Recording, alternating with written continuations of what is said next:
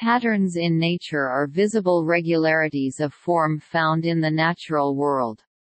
These patterns recur in different contexts and can sometimes be modeled mathematically. Natural patterns include symmetries, trees, spirals, meanders, waves, foams, tessellations, cracks and stripes. Early Greek philosophers studied pattern, with Plato, Pythagoras and Empedocles attempting to explain order in nature. The modern understanding of visible patterns developed gradually over time. In the 19th century, Belgian physicist Joseph Plateau examined soap films, leading him to formulate the concept of a minimal surface. German biologist and artist Ernst Haeckel painted hundreds of marine organisms to emphasize their symmetry. Scottish biologist D'Arcy Thompson pioneered the study of growth patterns in both plants and animals, showing that simple equations could explain spiral growth. In the 20th century, British mathematician Alan Turing predicted mechanisms of morphogenesis which give rise to patterns of spots and stripes. Hungarian biologist Aristid Lindenmayer and French-American mathematician Benoit Mandelbrot showed how the mathematics of fractals could create plant growth patterns. Mathematics, physics and chemistry can explain patterns in nature at different levels. Patterns in living things are explained by the biological processes of natural selection and sexual selection. Studies of pattern formation make use of computer models to simulate a wide range of patterns.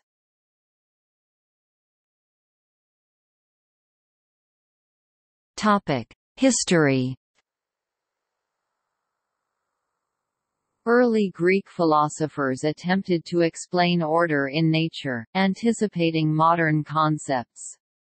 Pythagoras c. 570 c. 495 BC explained patterns in nature like the harmonies of music as arising from number, which he took to be the basic constituent of existence. Empedocles c. 494 c. 434 BC to an extent anticipated Darwin's evolutionary explanation for the structures of organisms. Plato c. 427 c. 347 BC argued for the existence of natural universals. He considered these to consist of ideal forms eidos eidos, form, of which physical objects are never more than imperfect copies. Thus, a flower may be roughly circular, but it is never a perfect circle. Theophrastus c. 372 c. 287 BC noted that plants that have flat leaves have them in a regular series. Pliny the Elder 23 79 AD noted their patterned circular arrangement. Centuries later, Leonardo da Vinci (1452–1519) noted the spiral arrangement of leaf patterns and that tree trunks gain successive rings as they age. Johannes Kepler (1571–1630) pointed out the presence of the Fibonacci sequence in nature, using it to explain the pentagonal form of some flowers. In 1754, Charles Bonnet observed that the spiral phyllotaxis of plants were frequently expressed in both clockwise and counter-clockwise golden ratio series. Mathematical observations of phyllotaxis followed with Carl Friedrich Schimper and his friend Alexander Braun's 1830 and 1830 work, respectively. Auguste Bravais and his brother Louis connected phyllotaxis ratios to the Fibonacci sequence in 1837, also noting its appearance in pinecones and pineapples. In his 1854 book, German psychologist Adolf Zeising explored the golden ratio expressed in the arrangement of plant parts, the skeletons of animals and the branching patterns of their veins and nerves, as well as in crystals. A. H. Church studied the patterns of phyllotaxis in his 1904 book. In 1917, D'Arcy Thompson published On Growth and Form, his description of phyllotaxis and the Fibonacci sequence. The mathematical relationships in the spiral growth patterns of plants showed that simple equations could describe the spiral growth patterns of animal horns and mollusk shells. In 1202, Leonardo Fibonacci introduced the Fibonacci sequence to the Western world with his book Liber Abaci. Fibonacci presented a thought experiment on the growth of an idealized rabbit population. In 1658, the English physician and philosopher Sir Thomas Browne discussed how nature geometrizeth in the Garden of Cyrus, citing Pythagorean numerology involving the number 5, and the Platonic form of the quincunx pattern. The discourse's central chapter features examples and observations of the quincunx in botany. The Belgian physicist Joseph Plateau (1801–1883) formulated the mathematical problem of the existence of a minimal surface with a given boundary, which is now named after him. He studied soap films intensively, formulating Plateau's laws which describe the structures formed by films in foams. Ernst Haeckel (1834–1919) painted beautiful illustrations of marine organisms, in particular radiolaria, emphasizing their symmetry to support his faux Darwinian theories of evolution. The American photographer Wilson Bentley took the first micrograph of a snowflake in 1880 1985. In 1952, Alan Turing (1912–1954), better known for his work on computing and codebreaking, wrote The Chemical Basis of Morphogenesis, an analysis of the mechanisms that would be needed to create patterns in living organisms, in the process called morphogenesis. He predicted oscillating chemical reactions, in particular the Belousov-Zhabotinsky reaction. These activator-inhibitor mechanisms can, Turing suggested, generate patterns dubbed Turing patterns of stripes and spots in animals, and contribute to the spiral patterns seen in plant phyllotaxis. In 1968, the Hungarian theoretical biologist Aristid Lindenmayer (1925–1989) developed the L system, a formal grammar which can be used to model plant growth patterns in the style of fractals. L systems have an alphabet of symbols that can be combined using production rules to build larger strings of symbols, and a mechanism for translating the generated strings into geometric structures. In 1975, after centuries of slow development of the mathematics of patterns by Gottfried Leibniz, Georg Cantor, Helge von Koch, Wacław Sierpiński and others, Benoit Mandelbrot wrote a famous paper, How Long is the Coast of Britain? Statistical self-similarity and fractional dimension, crystallizing mathematical thought into the concept of the fractal.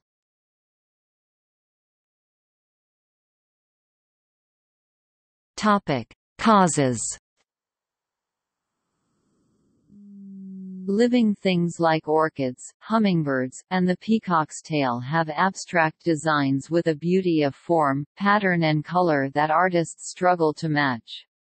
The beauty that people perceive in nature has causes at different levels, notably in the mathematics that governs what patterns can physically form, and among living things in the effects of natural selection, that govern how patterns evolve. Mathematics seeks to discover and explain abstract patterns or regularities of all kinds. Visual patterns in nature find explanations in chaos theory, fractals, logarithmic spirals, topology and other mathematical patterns. For example, L systems form convincing models of different patterns of tree growth. The laws of physics apply the abstractions of mathematics to the real world, often as if it were perfect. For example, a crystal is perfect when it has no structural defects such as dislocations and is fully symmetric. Exact mathematical perfection can only approximate real objects. Visible patterns in nature are governed by physical laws, for example, meanders can be explained using fluid dynamics. In biology, natural selection can cause the development of patterns in living things for several reasons, including camouflage, sexual selection, and different kinds of signaling, including mimicry and cleaning symbiosis. In plants, the shapes, colors, and patterns of insect-pollinated flowers like the lily have evolved to attract insects such as bees. Radial patterns of colors and stripes, some visible only in ultraviolet light serve as nectar guides that can be seen at a distance.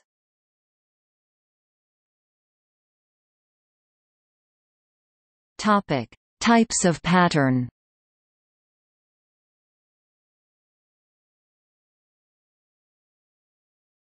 Topic: Symmetry. Symmetry is pervasive in living things. Animals mainly have bilateral or mirror symmetry, as do the leaves of plants and some flowers such as orchids. Plants often have radial or rotational symmetry, as do many flowers and some groups of animals such as sea anemones. Fivefold symmetry is found in the echinoderms, the group that includes starfish, sea urchins, and sea lilies. Among non-living things, snowflakes have striking sixfold symmetry. Each flake structure forms a record of the varying conditions during its crystallization, with nearly the same pattern of growth on each of its six arms. Crystals in general have a variety of symmetries and crystal habits, they can be cubic or octahedral, but true crystals cannot have fivefold symmetry, unlike quasicrystals. Rotational symmetry is found at different scales among non-living things, including the crown-shaped splash pattern formed when a drop falls into a pond, and both the spheroidal shape and rings of a planet like Saturn. Symmetry has a variety of causes. Radial symmetry suits organisms like sea anemones whose adults do not move. Food and threats may arrive from any direction. But animals that move in one direction necessarily have upper and lower sides, head and tail ends, and therefore a left and a right. The head becomes specialized with a mouth and sense organs cephalization, and the body becomes bilaterally symmetric though internal organs need not be. More puzzling is the reason for the fivefold pentaradiate symmetry of the echinoderms. Early echinoderms were bilaterally symmetrical, as their larvae still are. Sumrall and Ray argue that the loss of the old symmetry had both developmental and ecological causes.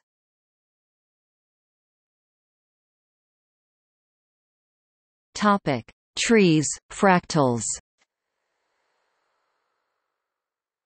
Fractals are infinitely self-similar, iterated mathematical constructs having fractal dimension. Infinite iteration is not possible in nature so all fractal patterns are only approximate. For example, the leaves of ferns and umbellifers are only self-similar pinnate to 2, 3 or 4 levels. Fern-like growth patterns occur in plants and in animals including bryozoa, corals, hydrozoa like the air fern, Sertularia argentea, and in non-living things, notably electrical discharges. Lindenmayer system fractals can model different patterns of tree growth by varying a small number of parameters including branching angle, distance between nodes or branch points, internode length, and number of branches per branch point. Fractal-like patterns occur widely in nature, in phenomena as diverse as clouds, river networks, geologic fault lines, mountains, coastlines, animal coloration, snowflakes, crystals, blood vessel branching, actin cytoskeleton, and ocean waves.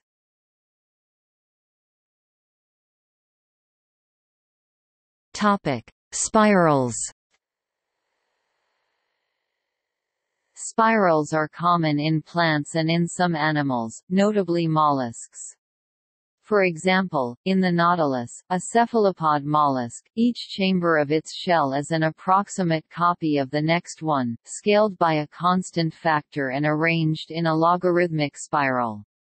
Given a modern understanding of fractals, a growth spiral can be seen as a special case of self-similarity. Plant spirals can be seen in Phyllotaxis, the arrangement of leaves on a stem, and in the arrangement of other parts as in composite flower heads and seed heads like the sunflower or fruit structures like the pineapple and snake fruit, as well as in the pattern of scales in pine cones, where multiple spirals run both clockwise and anticlockwise. These arrangements have explanations at different levels, mathematics, physics, chemistry, biology, each individually correct, but all necessary together. Phyllotaxis spirals can be generated mathematically from Fibonacci ratios. The Fibonacci sequence runs 1, 1, 2, 3, 5, 8, 13 each subsequent number being the sum of the two preceding ones. For example, when leaves alternate up a stem, one rotation of the spiral touches two leaves, so the pattern or ratio is one half. In hazel the ratio is one-third, in apricot it is two-fifths, in pear it is three-eighths, in almond it is five-thirteenths. In disc phyllotaxis as in the sunflower and daisy, the florets are arranged in Fermat's spiral with Fibonacci numbering, at least when the flowerhead is mature so all the elements are the same size. Fibonacci ratios approximate the golden angle, 137.508 degrees, which governs the curvature of Fermat's spiral. From the point of view of physics, spirals are lowest energy configurations which emerge spontaneously through self-organizing processes in dynamic systems. From the point of view of chemistry, a spiral can be generated by a reaction diffusion process, involving both activation and inhibition. Phyllotaxis is controlled by proteins that manipulate the concentration of the plant hormone auxin, which activates meristem growth, alongside other mechanisms to control the relative angle of buds around the stem. From a biological perspective, arranging leaves as far apart as possible in any given space is favored by natural selection as it maximizes access to resources, especially sunlight for photosynthesis.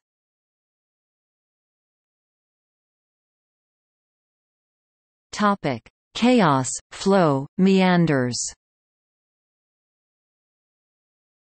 In mathematics, a dynamical system is chaotic if it is highly sensitive to initial conditions the so-called butterfly effect, which requires the mathematical properties of topological mixing and dense periodic orbits. Alongside fractals, chaos theory ranks as an essentially universal influence on patterns in nature. There is a relationship between chaos and fractals, the strange attractors in chaotic systems have a fractal dimension. Some cellular automata, simple sets of mathematical rules that generate patterns, have chaotic behavior, notably Stephen Wolfram's Rule 30. Vortex streets are zigzagging patterns of whirling vortices created by the unsteady separation of flow of a fluid, most often air or water, over obstructing objects. Smooth laminar flow starts to break up when the size of the obstruction or the velocity of the flow become large enough compared to the viscosity of the fluid. Meanders are sinuous bends in rivers or other channels, which form as a fluid, most often water, flows around bends. As soon as the path is slightly curved, the size and curvature of each loop increases as helical flow drags material like sand and gravel across the river to the inside of the bend. The outside of the loop is left clean and unprotected, so erosion accelerates, further increasing the meandering in a powerful positive feedback loop.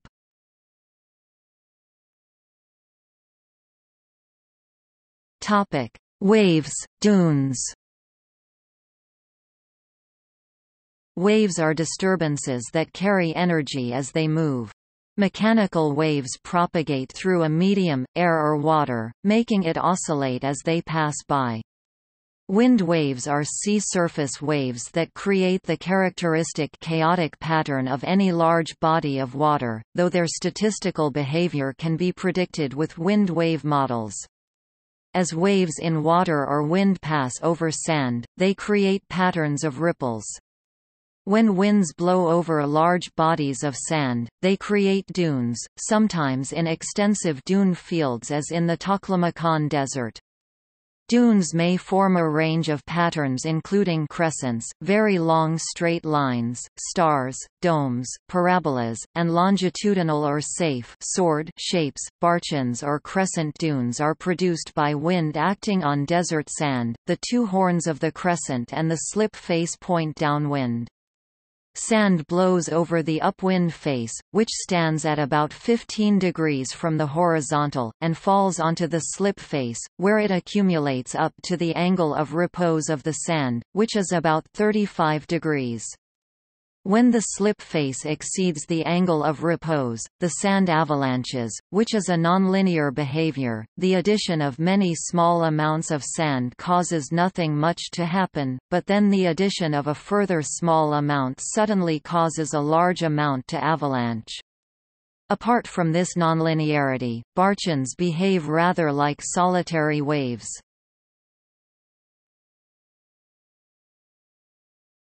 Topic: Bubbles, foam A soap bubble forms a sphere, a surface with minimal area. The smallest possible surface area for the volume enclosed. Two bubbles together form a more complex shape. The outer surfaces of both bubbles are spherical. These surfaces are joined by a third spherical surface as the smaller bubble bulges slightly into the larger one. A foam is a mass of bubbles. Foams of different materials occur in nature. Foams composed of soap films obey Plateau's laws, which require three soap films to meet at each edge at 120 degrees and four soap edges to meet at each vertex at the tetrahedral angle of about 109.5 degrees. Plateau's laws further require films to be smooth and continuous, and to have a constant average curvature at every point. For example, a film may remain nearly flat on average by being curved up in one direction say, left to right while being curved downwards in another direction say, front to back. Structures with minimal surfaces can be used as tents. Lord Kelvin identified the problem of the most efficient way to pack cells of equal volume as a foam in 1887. His solution uses just one solid, the bitruncated cubic honeycomb with very slightly curved faces to meet Plateau's laws. No better solution was found until 1993 when Dennis Weaire and Robert Phelan proposed the Weaire-Phelan structure. The Beijing National Aquatics Center adapted the structure for their outer wall in the 2008 Summer Olympics. At the scale of living cells, foam patterns are common: radiolarians, sponge spicules, silicoflagellate exoskeletons, and the calcite skeleton of a sea urchin, Cidaris rugosa, all resemble mineral casts of plateau foam boundaries. The skeleton of the radiolarian, Aulonia hexagona, a beautiful marine form drawn by Ernst Haeckel, looks as if it is a sphere composed wholly of hexagons, but this is mathematically impossible. The Euler characteristic states that for any convex polyhedron, the number of faces plus the number of vertices corners equals the number of edges plus 2. A result of this formula is that any closed polyhedron of hexagons has to include exactly 12 pentagons, like a soccer ball, Buckminster-Fuller geodesic dome, or fullerene molecule. This can be visualized by noting that a mesh of hexagons is flat like a sheet of chicken wire, but each pentagon that is added forces the mesh to bend, there are fewer corners, so the mesh is pulled in.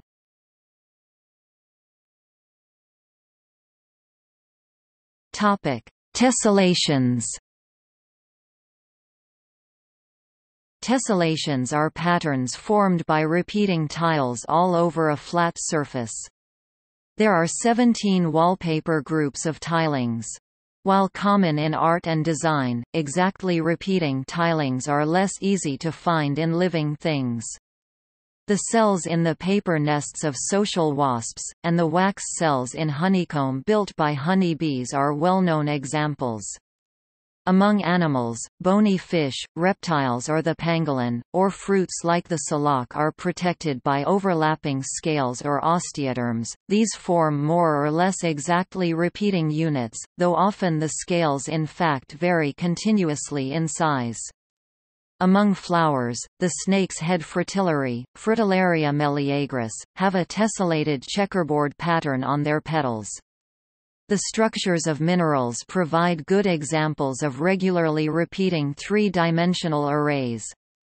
Despite the hundreds of thousands of known minerals, there are rather few possible types of arrangement of atoms in a crystal, defined by crystal structure, crystal system, and point group. For example, there are exactly 14 Bravais lattices for the seven lattice systems in three-dimensional space.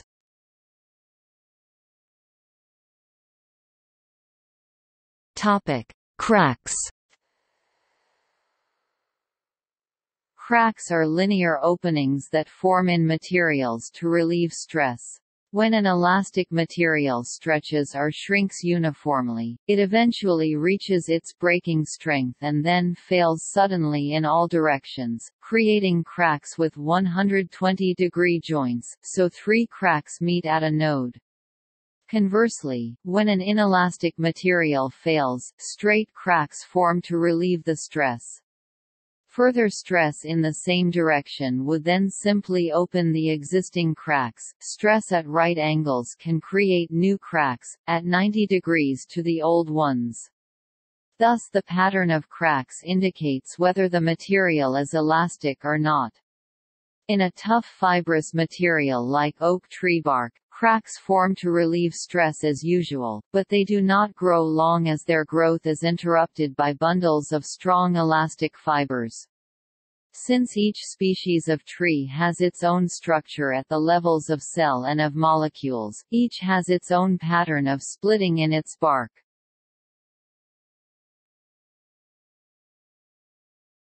Topic: Spots, stripes. Leopards and ladybirds are spotted, angelfish and zebras are striped.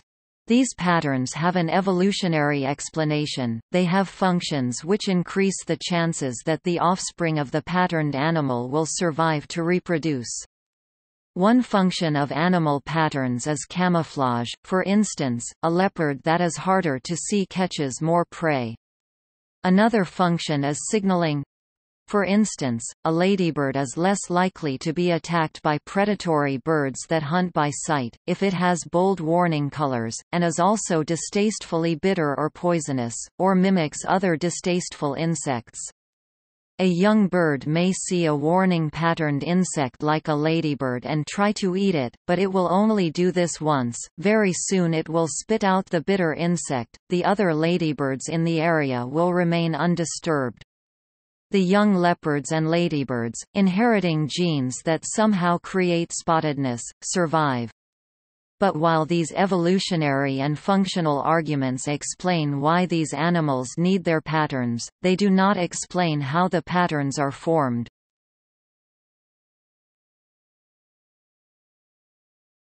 Topic: Pattern formation.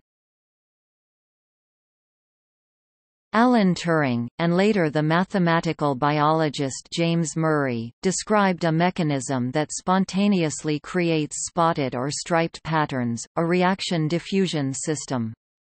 The cells of a young organism have genes that can be switched on by a chemical signal, a morphogen, resulting in the growth of a certain type of structure, say a darkly pigmented patch of skin. If the morphogen is present everywhere, the result is an even pigmentation, as in a black leopard. But if it is unevenly distributed, spots or stripes can result. Turing suggested that there could be feedback control of the production of the morphogen itself. This could cause continuous fluctuations in the amount of morphogen as it diffused around the body. A second mechanism is needed to create standing wave patterns to result in spots or stripes, an inhibitor chemical that switches off production of the morphogen, and that itself diffuses through the body more quickly than the morphogen, resulting in an activator-inhibitor scheme. The Belousov-Zhabotinsky reaction is a non-biological example of this kind of scheme, a chemical oscillator. Later research has managed to create convincing models of patterns as diverse as zebra stripes, giraffe blotches, jaguar spots, medium dark patches surrounded by dark broken rings, and ladybird shell patterns. Different geometrical layouts of spots and stripes. See illustrations. Richard Prum's activation inhibition models, developed from Turing's work, use six variables to account for the observed range of nine basic within feather pigmentation patterns, from the simplest, a central pigment patch, via concentric patches, bars, chevrons, eye-spot, pair of central spots, rows of paired spots and an array of dots. More elaborate models simulate complex feather patterns in the guineafowl Numida meleagris in which the individual feathers feature transitions from bars at the base to an array of dots at the far distal end. These require an oscillation created by two inhibiting signals, with interactions in both space and time. Patterns can form for other reasons in the vegetated landscape of tiger bush and fir waves. Tiger bush stripes occur on arid slopes where plant growth is limited by rainfall. Each roughly horizontal stripe of vegetation effectively collects the rainwater from the bare zone immediately above it. Fir waves occur in forests on mountain slopes after wind disturbance, during regeneration. When trees fall, the trees that they had sheltered become exposed and are in turn more likely to be damaged, so gaps tend to expand downwind. Meanwhile, on the windward side, young trees grow, protected by the wind shadow of the remaining tall trees. Natural patterns are sometimes formed by animals, as in the Mima mounds of the northwestern United States and some other areas, which appear to be created over many years by the burrowing activities of pocket gophers, while the so-called fairy circles of Namibia appear to be created by the interaction of competing groups of sand termites, along with competition for water among the desert plants, in permafrost soils with an active upper layer subject to annual freeze and thaw, patterned ground can form, creating circles, nets, ice wedge polygons, steps, and stripes.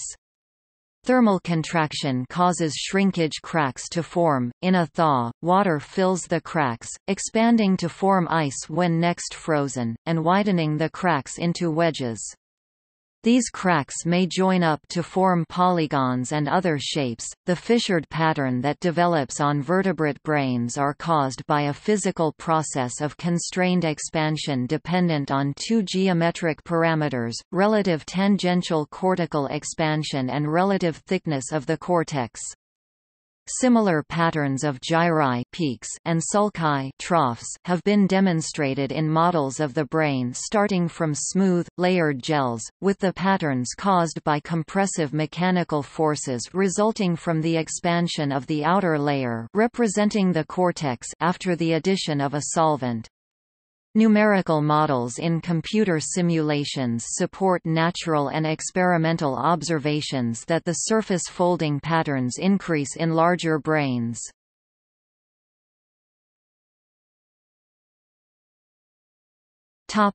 See also Emergence Evolutionary history of plants Mathematics and art Widmanstatten pattern